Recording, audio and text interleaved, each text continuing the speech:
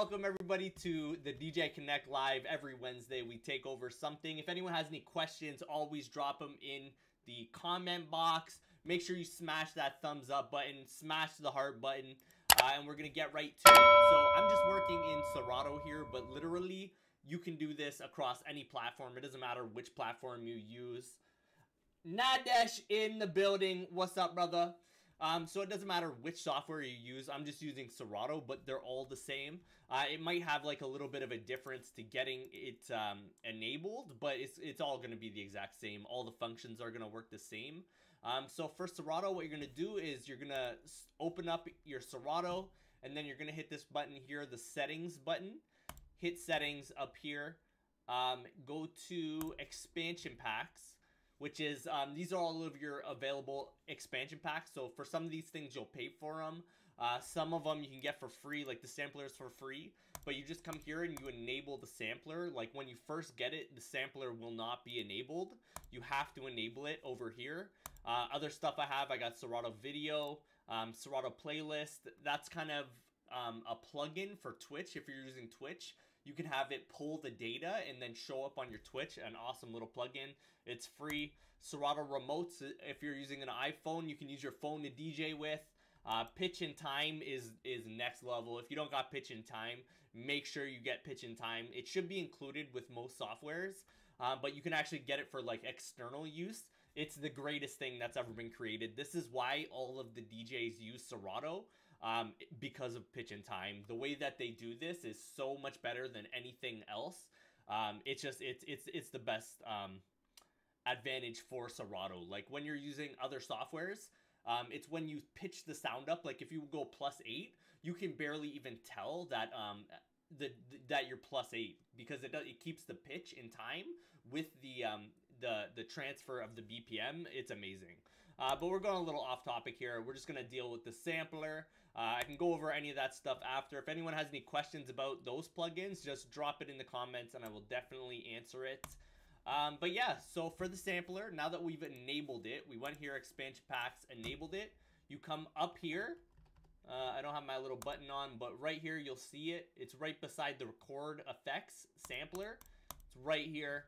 Uh, I'm just going to use the B bank because I've already put other stuff in my banks and we're just going to start fresh. Um, and then from there, you just need sound effects, essentially. Um, so let's get these club killer effects right here.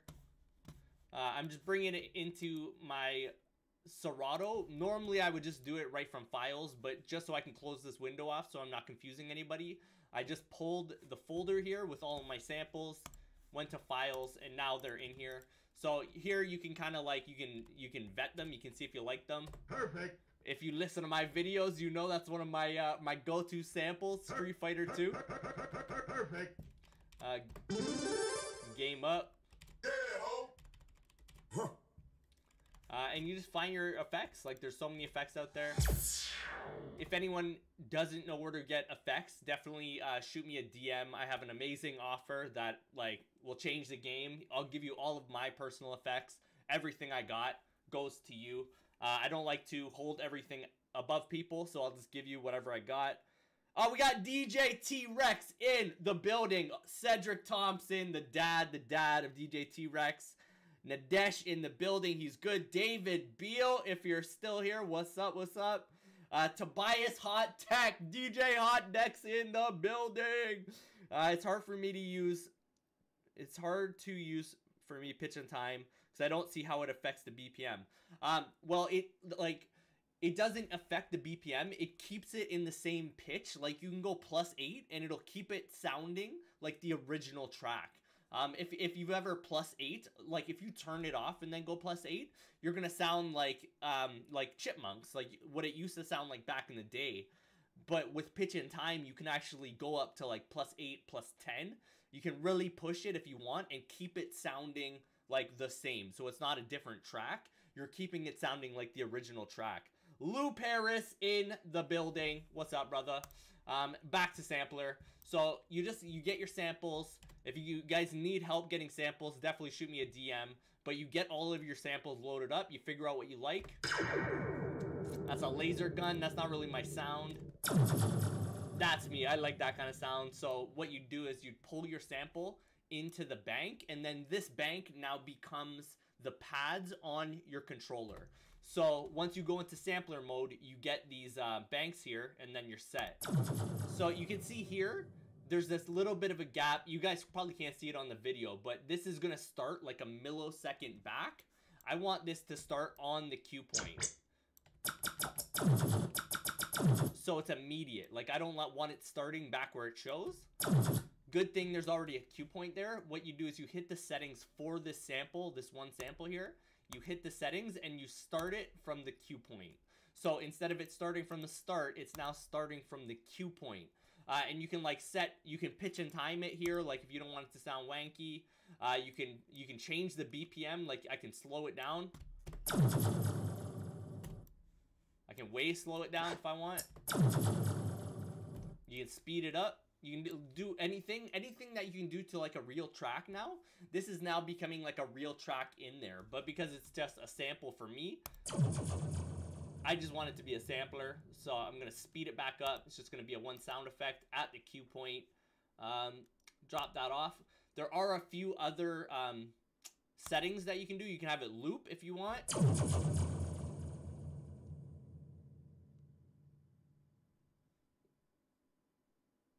And it didn't loop. Let's. Oh, because it's in the player. Now it'll loop. Sorry. Yeah, when it's running through the sampler now, it's gonna loop endlessly. So I don't know. If, I don't know who would use this, but some people can. Um, if if you like, obviously. And then there's also you can set it so you have to hold the button. If you want it to keep playing, you you have to hold the button.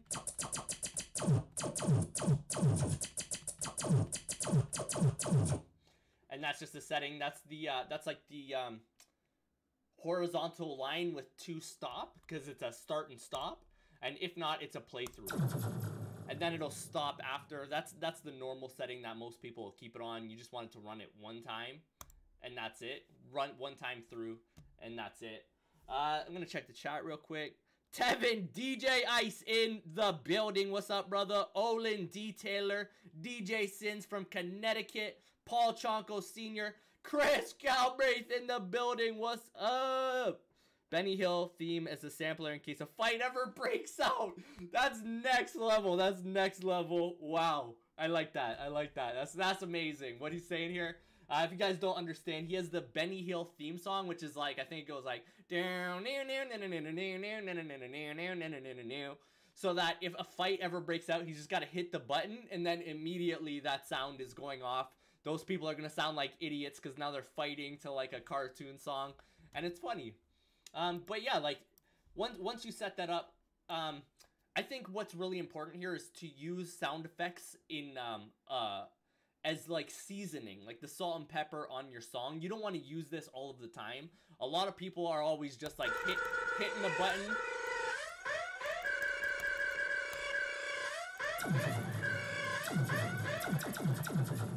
A lot of people will do that and that's like that's not helpful. I use sound effects a lot, but you have to use them very tastefully. You don't want them to overpower the music. You don't want people to get annoyed and trust me, a lot of people, especially who aren't in the DJ culture, like they'll think that the um, the air raid sound that's that's a cool sound. Like everyone loves that. Let's see if I have it here. Everyone will say that because they know it, but if you're dropping that all of the time, over and over again, people will get annoyed. So you want to really tastefully use sound effects. I know when I started, I was always hitting the sound effect button because I knew how to do it, and it was something that I knew how to do. Um, but a lot of people will get annoyed by that. So you just want to know that you're using it very tastefully and you're not you're not just shooting it off for any reason. Um, but yeah, and and and that kind of comes down to like beat matching too, like knowing when stuff is on time. You want to you want to drop these sound effects on time. Like I'll usually drop something right before a big drop or like on the big drop. Whenever it's it's a a time when they're like there needs to be a little bit of filler and it's gonna like set me up for something else that's when i use sound effects um but apart from that i think the only sorry i think the only uh tip i have past there is to like kind of know where your sound effects are i put all of my sound effects together. Like all the air horns are going to be together with the air horns. I'll put the lasers together with the lasers. Uh, and what I just did there is I ejected that sound effect. So if you want to get rid of it, you either just drop a track on top of it, you drop another sample on top of it, or you eject it with this button here. Um, and other than that, I think that's pretty much it. Um, I'll check the comments. If anyone has any more questions, definitely drop some questions. But uh, yeah, I'm just going to check out what stuff I have here. Oh, that's a classic. That's a classic. The trap siren. Uh, we've heard that one. Air horn blast. We got that.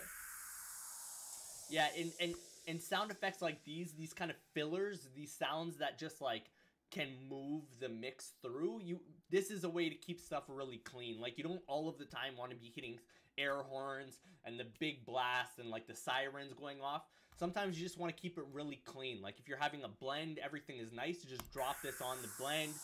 Very in the back. Like it's not something that's overpowering. It's just that salt and pepper, that extra spice that you're giving out there.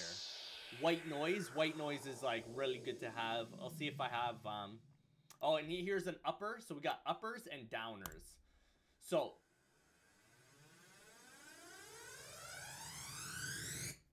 for something like that, I would be using that going into a big drop.